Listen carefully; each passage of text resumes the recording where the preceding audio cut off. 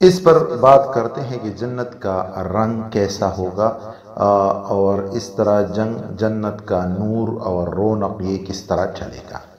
तो इबन अब्बास तु फरमाते हैं कि हजूर सल्लल्लाहु अलैहि वसल्लम ने फरमाया, तुम सफ़ेद रंग इख्तियार करो, क्योंकि अल्लाह ताला ने जन्नत को सफ़ेद पैदा किया है। बस चाहिए कि तुम्हारे ज़िंदा लोग सफ़ेद रंग पहने और इसी में अपने मुर्दों को कपन दिया करें। यह हदीस सिपतुलजन्ना अबू नाइम की हदीस है। इस तरह एक साहबी ने जन्नत के बारे में पूछा है तो हुजूर सल्लल्लाहु अलैहि वसल्लम ने जन्नत का ज़िक्र करते हुए इरशाद फरमाया रब काबा की कसम, ये जन्नत एक तरह का फूलों का गुलदस्ता है। मस्त कर देने वाला और नूर है चमकने वाला, यानी इसमें सरासर नूर ही नूर होगा। ये हदीस भी सिपतुल जन्ना अबू नईम की हदीस है। जन्नत में रोशनी किस तरह होगी? तो इस पर एक हदीस कोट करते हैं, हज़रत आमिर बिन सईद का जो वालिद है, वो साहबी है उससे रिवायत करते हैं कि हुजूर सल्लल्लाहु अलैहि वसल्लम ने इरशाद फरमाया, जो नेमत जन्नत में है, अगर इनमें से इतनी मकदार भी ज़ाहिर हो जाए, जितना कि नाखून के साथ लग कर कोई चीज़ आती है। तो इसकी वजह से आसमानों और ज़मीन के किनारे जगमगा उठे।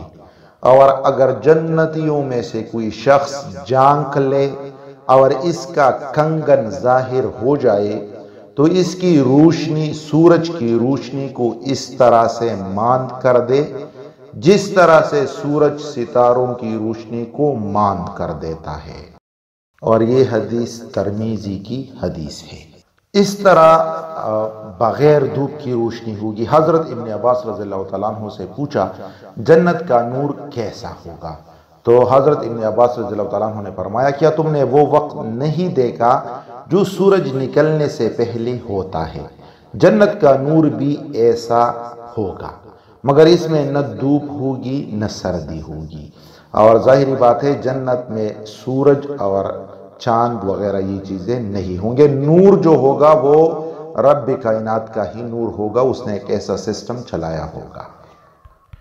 इस तरह जन्नत में जो मुसलमान जाएँगे, उनका अपना भी नूर उनके साथ होगा। अल्लाह तबारक व ताली का इरशाद है, योम तरलमिन वलमिनत यसनूरहम बैन आइदिहिम व बीमानिहिम तर्जुमा जिस दिन क़यामत में आप सल्लल्लाहु अलैहि वसल्लम मुसलमान मर्दों और मुसलमान औरतों को देखेंगे कि इनका नूर इनके आगे और इनके दाहिनी तरफ़ दौड़ता होगा। ये फजीलत मुसलमानों को इनके नेक अमाल की वजह से दी जाएगी।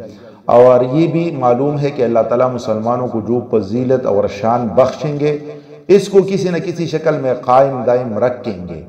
जन्नत में दाखिल होने के बाद वापस नहीं लेंगे। इसलिए जन्नत में जन्नतियों का पूरा जिस्म नूर से चमकता होगा। या तो ये नूर इनके हसीन जिस्मों का होगा, या इनके आमाल सालिहा का होगा, या जन्नत का होगा। और इस पे एक हदीस जो है, वो भी कोट करते हैं। हज़रत मोहम्मद बिन काब फरमाते हैं कि जन्नत में बिजली की तरह की एक चमक नज़र आएगी। तो निचले दर्जे के जन्नती हजरात की तरफ़ से पूछा जाएगा, ये क्या था?